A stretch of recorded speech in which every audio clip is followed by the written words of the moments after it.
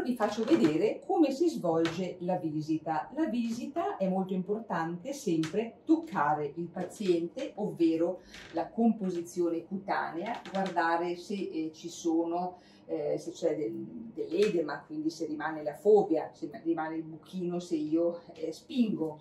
Vedere la circolazione è semplicissimo, basta toccare eh, sul collo del piede da entrambe le parti, ovviamente se io ho l'arteria che la sento eh, uguale o eh, dietro il malleolo abbiamo l'arteria tibiale posteriore, beh, è tutto perfetto, guardo anche lo stato venoso, la presenza o meno di discromie cutanee, cioè di macchie cutanee che mi direbbero che non va bene la, la circolazione venosa, che però, ripeto, qui non c'è problema. Poi ehm, misuro sempre la pressione, eh, quindi voi vedete c'è lo sfigmomanometro, poi eh, visito sempre, eh, mi ascolto il cuore, eh, se ci sono eh, soffi a livello delle carotidi, perché ti dice molto anche questo, eh, si fa una valutazione eh, addominale, poi per me è ovviamente più semplice perché io faccio sempre l'ecografia addominale e quindi vedo già dentro, però è molto importante vedere se alla palpazione la paziente mi dice ho dolore o dolenza e già questo può eh, essere importante.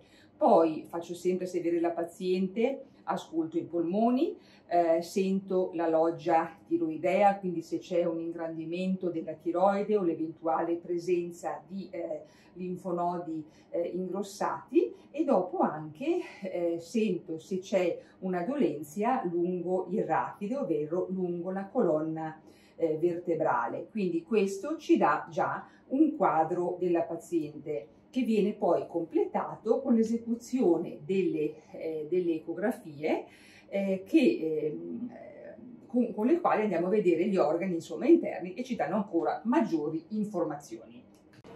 Questa è l'ecografia, l'ecocolor Doppler per la precisione, dei vasi epiaortici. Che cosa sono i vasi epiaortici? Sono le arterie che irrorano con, con il sangue, insomma il cervello e abbiamo davanti l'arteria carotide comune che poi si biforca qui alla biforcazione nell'interna e nella esterna e dove è importante nell'ecocolor Doppler misurare sempre le velocità di flusso in quanto sono le velocità di flusso che ci danno l'entità della normalità eh, di un flusso. Adesso ovviamente la nostra Elena qui non ha stenosi eh, di nessun tipo, eh, andiamo anche a misurare quello che è, si dice, l'eventuale presenza di spessimento intimale, si va a vedere quanto è, quanto misura la, eh, il rivestimento interno che da Elena misura 0,83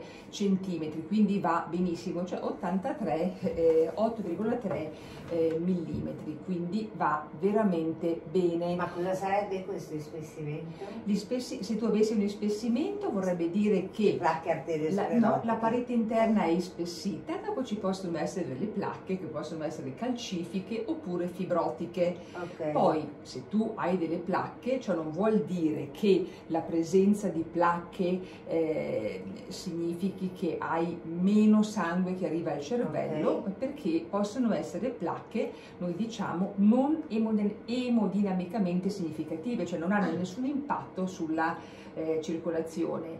Una stenosi comincia a diventare importante dal 60-70% in su e lì allora devi prendere le velocità eh, di flusso, come vi ho fatto vedere prima, perché con le velocità di flusso eh, tu determini l'entità di una stenosi e questo è molto importante. Okay.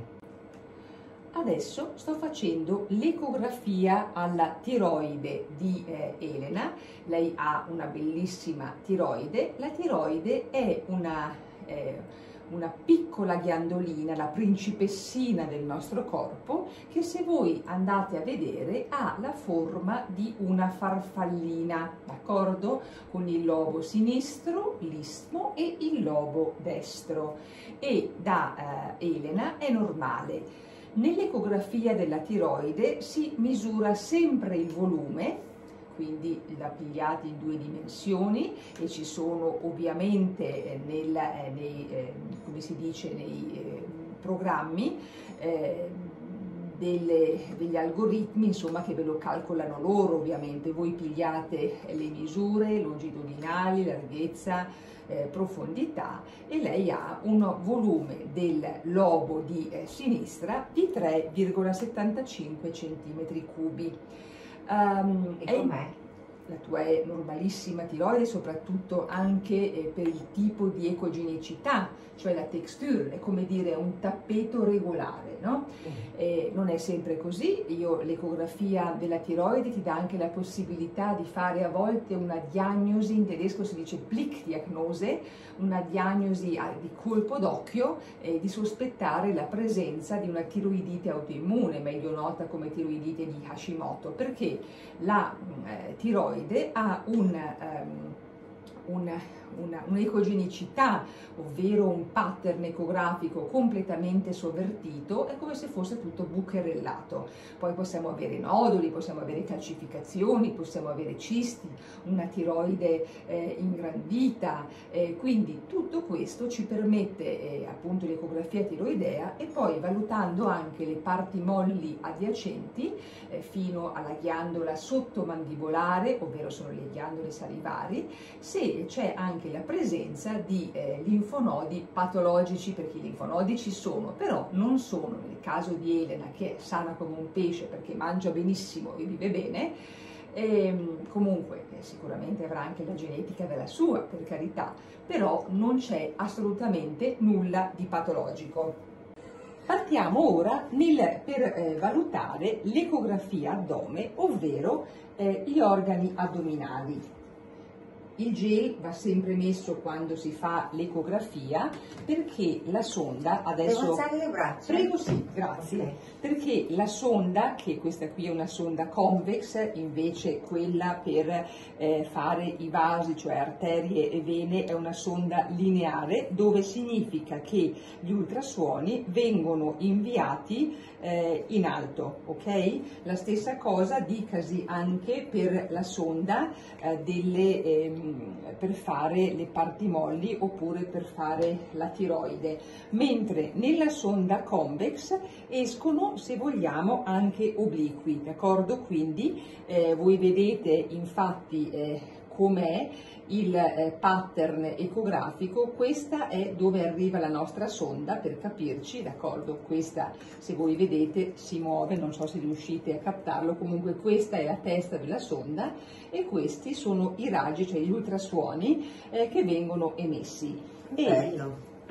E infatti ti dà un quadro eh, sicuramente maggiore, aspetta che mi sia annodata, ecco qua.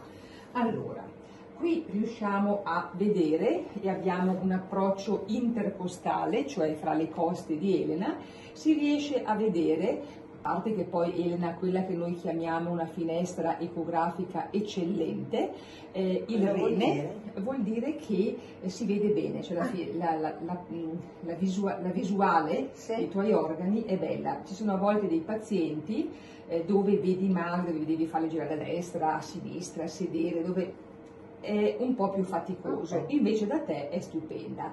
Noi qui abbiamo il, eh, eh, il rene, sopra abbiamo il fegato, la cistifelia, le vie biliari, dopo abbiamo eh, tutti i vasi, bel respiro profondo, trattieni, tutti i vasi e poi si vede ad esempio andando eh, in giù un piccolissimo angioma che è un, un agglomerato di vaserelli e poi uno più grande a livello del, ad esempio ecco che è qui, a livello del lobo di sinistra. Respira pure normalmente e lo puoi andare a misurare, è poco più di 3 cm. Quello che è importante è ancora un bel respiro profondo, trattieni, lo si può andare a caratterizzare dal punto di vista anche per vedere se è fortemente vascolarizzato o meno, quindi mettendoci il Doppler e non è particolarmente vascolarizzato. Poi se ci sono dubbi, ad esempio su una lesione, si valuta se fare un imaging ulteriore, respira normalmente, o tipo una risonanza magnetica con o senza mezzo di contrasto e lì conviene sempre sentire, cioè confrontarsi con il, il collega radiologo. Qui adesso andiamo e eh, abbiamo... io ho una domanda, sì, posso? certo. E perché guardiamo se è tanto errorato? Perché se c'è tanto sangue potrebbe essere... No, no, assolutamente, no, perché lo caratterizzi di più, no, no, ah, assolutamente. Okay. Eh, poi abbiamo il pancreas, che è come un cavalluccio marino a cavallo proprio eh, delle vene, infatti, poi si scende, adesso se voi vedete tutta questa nebbia è aria, questa è l'aorta addominale che pulsa, infatti se voi mettete sopra il color Doppler,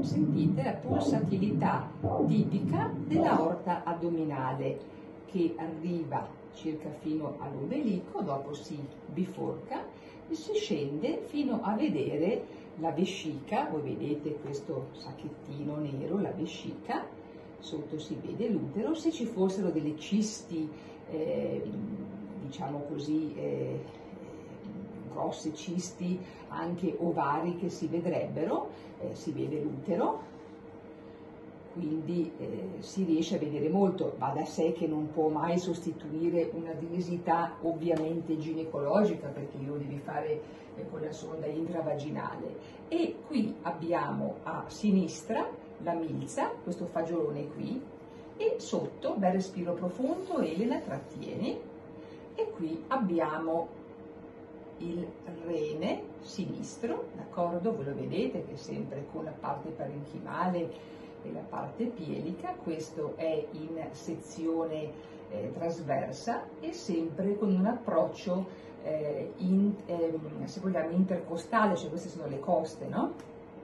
Ecco, quindi se ti faccio un po' male sono io che sto pigiando, respira pure normalmente, quindi con l'ecografia si vede molto, vedi se c'è un fegato grasso, noi abbiamo beccato due angioni da Elena, eh, riesci a valutare se hai eh, un versamento ad esempio ascitico, cioè del liquido ehm, libero in addome non deve esserci, lo becchi anche qui se ce l'hai nel Douglas, riesci a vedere eh, praticamente fra anche eh, il, l'utero e eh, il retto o riesci a vedere comunque eh, delle raccolte ascitiche, riesci a vedere qui abbiamo, questo è il diaframma e questi sono i polmoni se ci fosse un versamento pleurico, quindi ci dà la possibilità di vedere molto, molto spesso si trovano cisti ai reni, eh, si trovano cisti al fegato che sono innocue.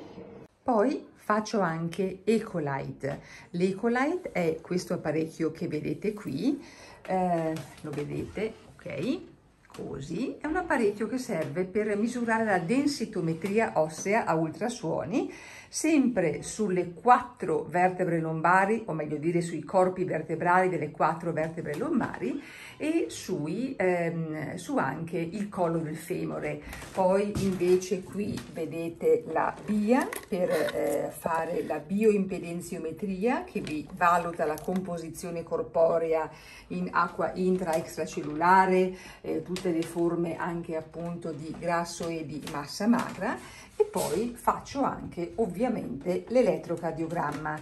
A ciò si aggiunge anche la possibilità di fare tutti gli esami del sangue.